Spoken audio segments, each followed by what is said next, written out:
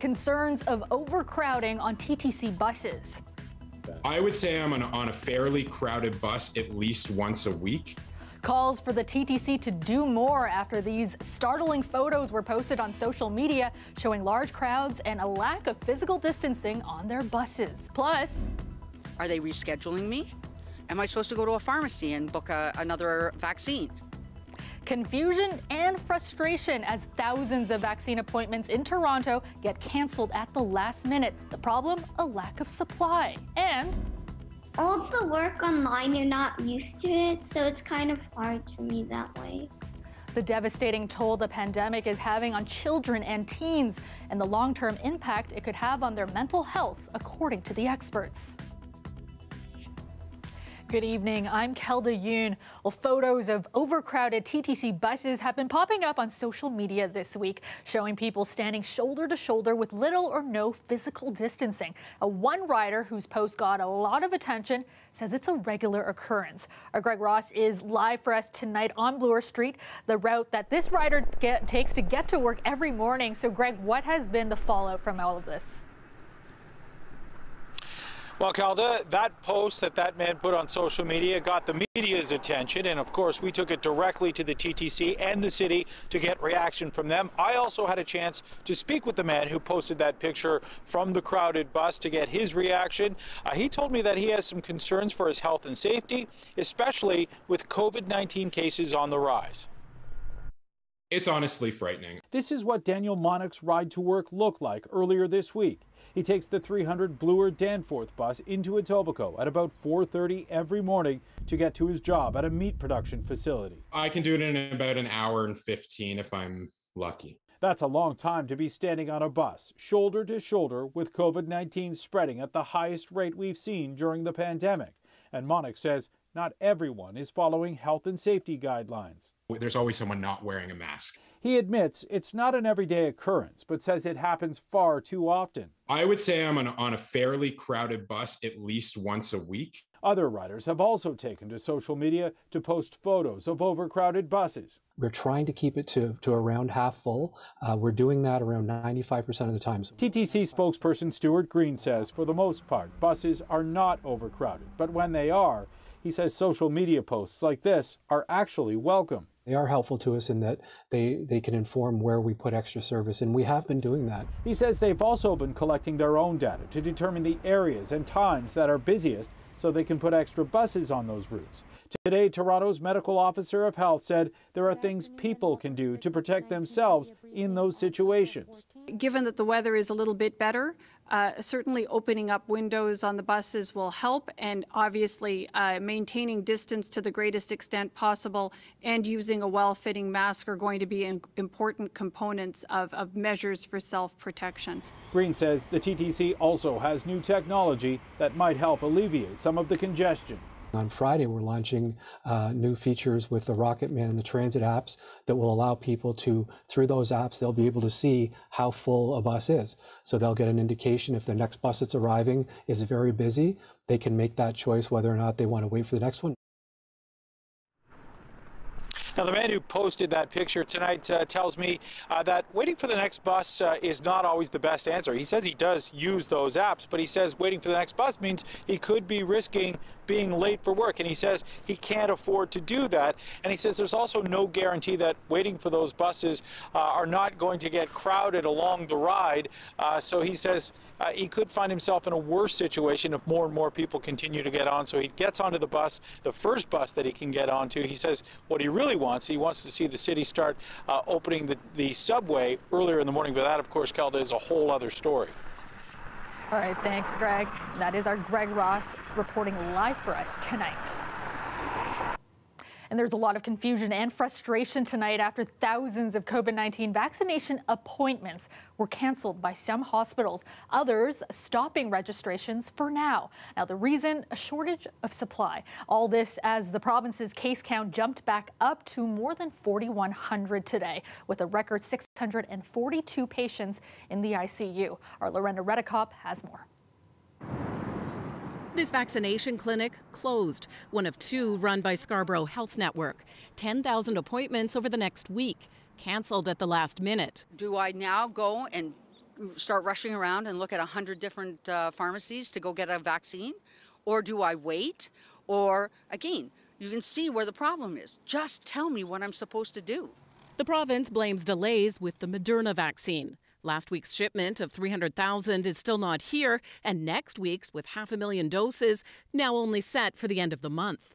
This ER doctor wants the Premier to intervene for an area with a 24% test positivity and more hospitalizations and deaths than other regions call up our hospital, find out what the problem is, and give us the vaccine that just arrived within the last 48 hours. Other hospitals are also running out, with a similar message from North York General. East Toronto for its Thorncliffe Park Community Clinic and the University Health Network, pausing registrations for people under 50.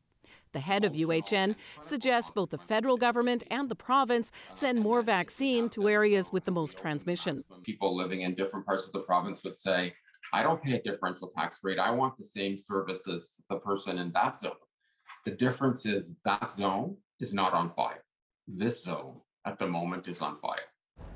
He says UHN is only allocated 4,000 more doses over the next two weeks. The province seems unlikely to change its strategy. I do not believe that the solution is to pull vaccines away from other communities. We just need more supply. Well, good afternoon, everyone. The Premier also blamed supply as he reacted to the cancelled appointments in Scarborough. They were hoping it would come in, so I, I don't blame them for overbooking 10,000 appointments. I don't blame York for doing that as well. Uh, we were expecting the shipments to come in, and uh, unfortunately, uh, we just we never ended up uh, getting them. For that hospital's clinics, they plan to change how they approach bookings waiting till the vaccine's in hand. We're going to have to really take a hard look at that uh, because it's it's very distressing for patients. Not all clinics are running out. Some pharmacies are reporting that they have extra doses. That's for people 55 plus with AstraZeneca. And the City of Toronto says its supply of Pfizer should last until the next scheduled shipment in a week. Lorenda Reddekopp, CBC News, Toronto. Firefighters in Hamilton battled a three alarm fire at a senior's home tonight. This is the scene as crews work to douse the flames coming through the roof. It happened at Stony Brook Apartments in the Stoney Creek area. Thankfully, all residents were evacuated safely and there are no reports of any injuries. Hamilton Fire says the damage, though, is extensive. Let's go now to our meteorologist Colette Kennedy with a first look at the forecast. And Colette, we saw a bit of the sun this afternoon.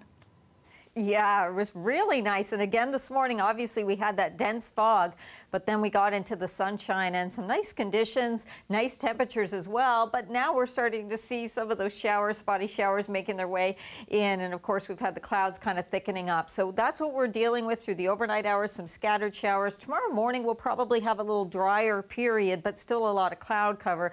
Might be some slivers of sun, especially closer to the lakeshore. And into the afternoon, yeah, the showers. You see that rotation rotation around the system as it moves in. So the showers return to us, and we're going to keep with this unsettled pattern. And there's even going to be a risk uh, for thunderstorm too into southwestern Ontario.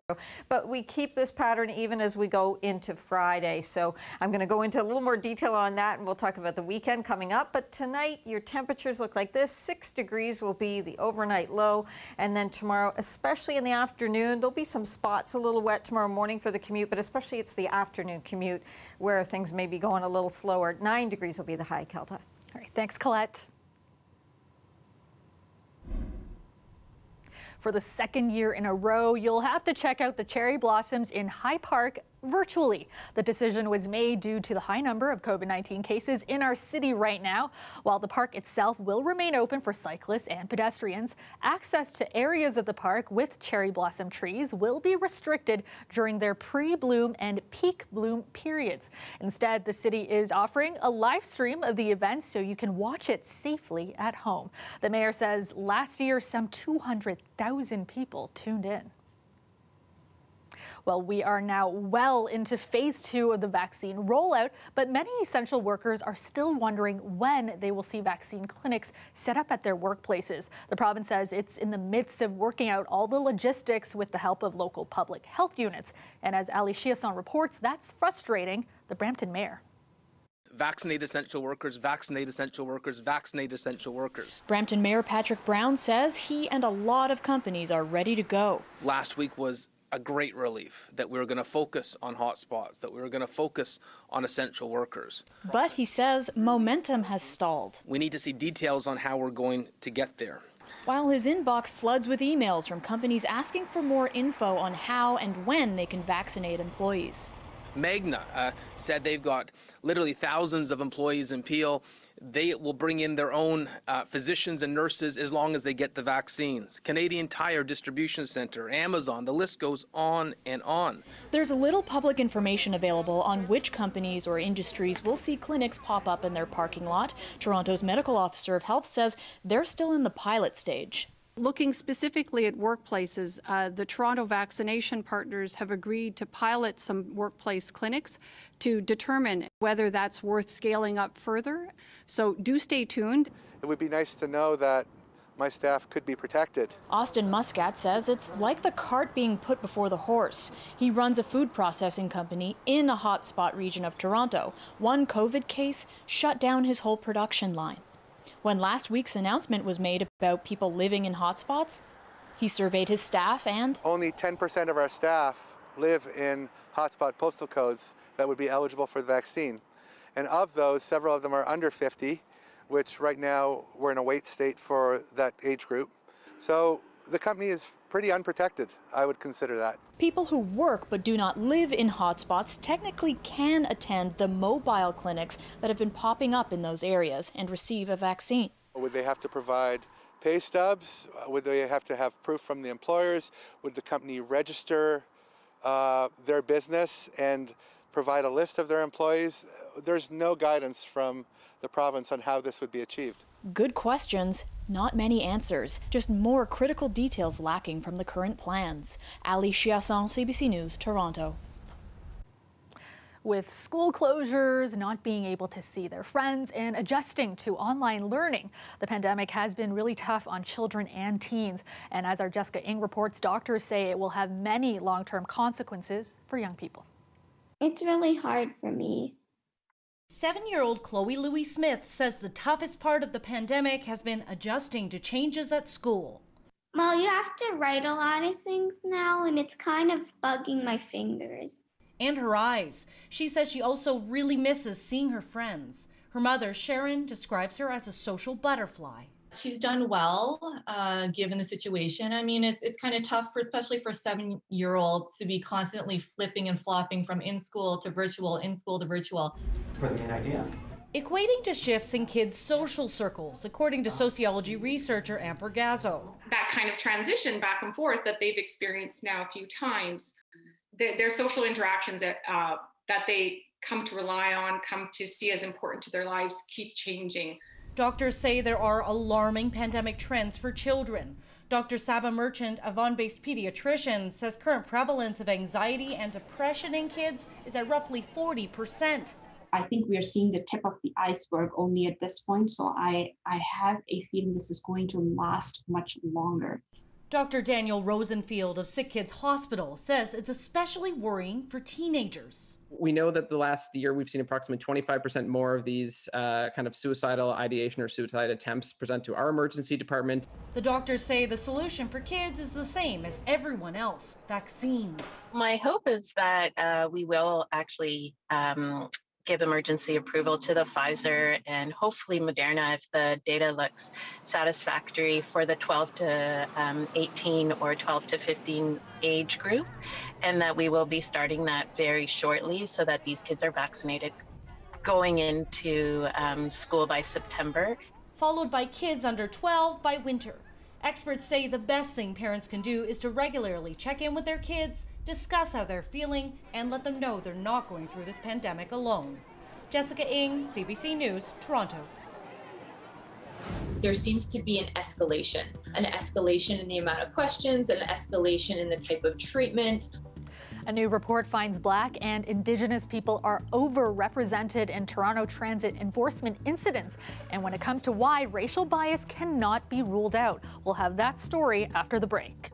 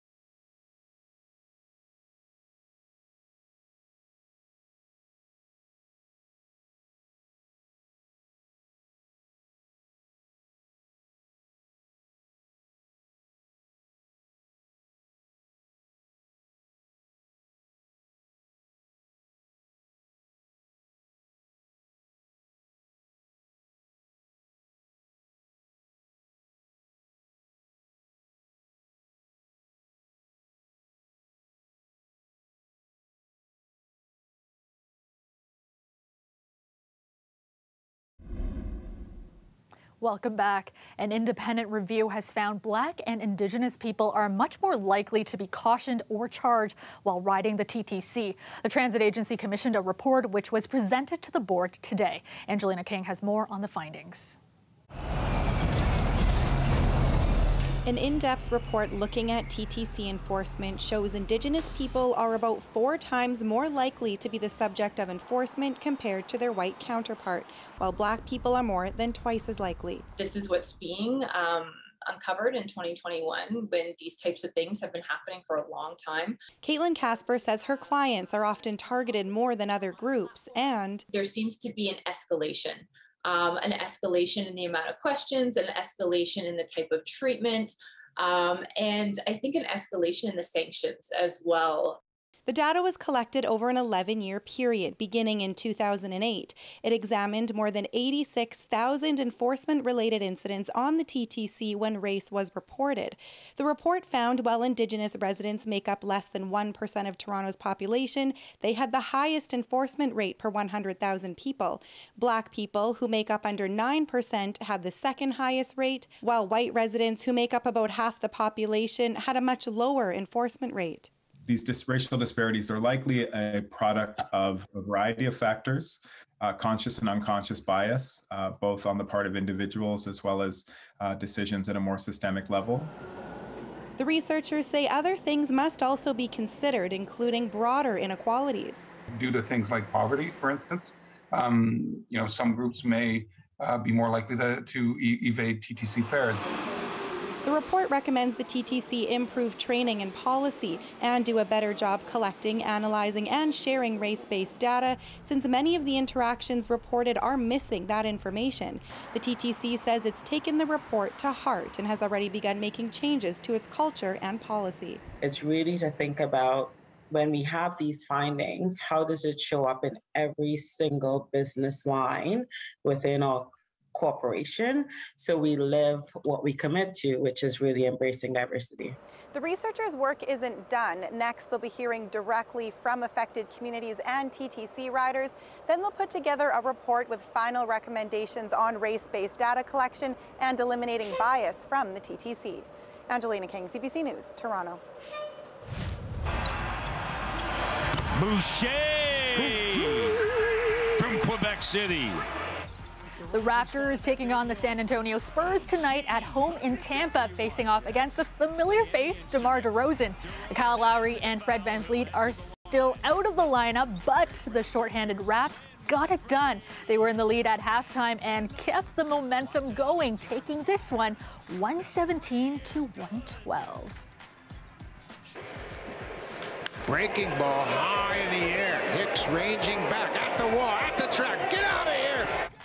An afternoon game for the Jays, wrapping up their series with the Yankees. Bo Bichette hit a walk-off solo home run to lead the team to a 5-4 win. They win this series 2-1. It's the second time they've bested the Yankees this season. The Blue Jays are back in action tomorrow night in Kansas City against the Royals for Jackie Robinson Day. And the American Hockey League has postponed three Toronto Marlies games over the next week due to league COVID 19 protocols. The AHL did not elaborate on why the Marlies were entering league protocols. Makeup dates have yet to be determined. The Marlies' next scheduled game is April 23rd at Belleville. and cloudy this evening with patches of light drizzle and that will continue into the morning hours. Currently 7 degrees downtown. All right, let's go back to Colette now with a look at the extended forecast. And Colette, it was nice to get a dose of sunshine this afternoon before the clouds moved back in with some of that drizzle this evening. Yeah, that's right, Kelda. Our pattern is changing there. We are seeing this system, the same one that brought the snowfall into southern Manitoba and northwestern Ontario, Winnipeg, 20, 25 centimeters since the beginning of the week. So it's the same system, but not giving us the same conditions. This is what you're looking at for your weather headlines. We've got the showers moving in, some slightly cooler temperatures than we've been experiencing for the next couple of days, and also just a little bit below seasonal. Improvements for the weekend. Yes, you're seeing some showers in there. There's a slight chance later on Saturday and even a slight chance on Sunday, but really we will be seeing drier conditions and more sunshine for the weekend and the temperatures kind of popping back up a little bit. Daytime highs today, boy, we did okay once we got into that sunshine and burnt off some of that fog. Early this morning near the lake shore, the temperature was only 5 degrees, whereas at Pearson it was already up at 13. So that was kind of the contrast where you were a little slower to get out of that fog in that fog deck. So uh, overnight tonight, yeah, pretty light in nature, but we get some of those showers. Slightest chance for some sun early tomorrow, but probably not.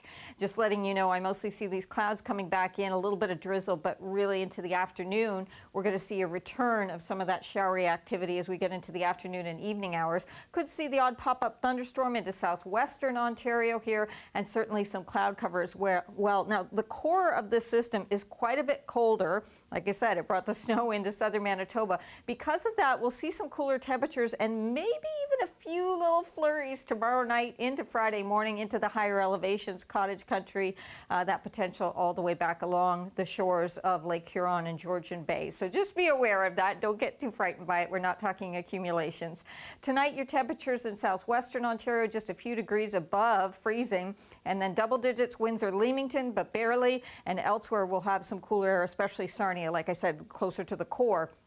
Overnight tonight for the Golden Horseshoe, 4 to 6 degrees for those temperatures, and they don't change a whole lot as we get into tomorrow with highs of 7 to 9 degrees around the area. Friday, 10, and then there you go. Uh, things looking a little bit better as that system moves away, and we go into the weekend Saturday high 14 and Keldon Sunday up to 12 degrees. I like the sound of that. Thanks so much, Colette. The weather is brought to you by Trane, the most reliable heating and cooling brand. We test, so it runs. It's hard to stop a Trane.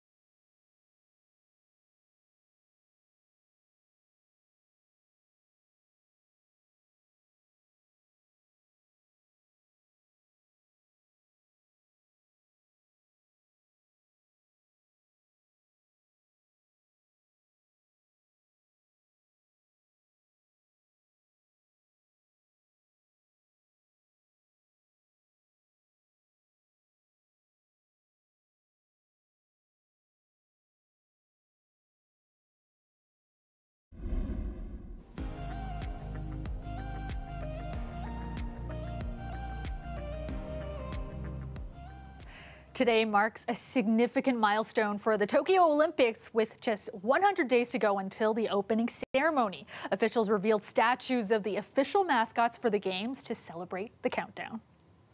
どうぞ Here's a look at the colorful mascots for the Olympics and Paralympics, cartoon-style characters named Miraitowa and Someity. Miraitowa is the mascot for the Olympics, and its name means future and eternity. Someity will feature at the Paralympics, and its name is taken from a type of cherry tree. Both were voted on by elementary school children, a first in Games history. And that is our show for you tonight. Thank you so much for watching. Dwight Drummond has your next local newscast tomorrow at 6. I will see you back here tomorrow night at 11. Have a great night, everyone.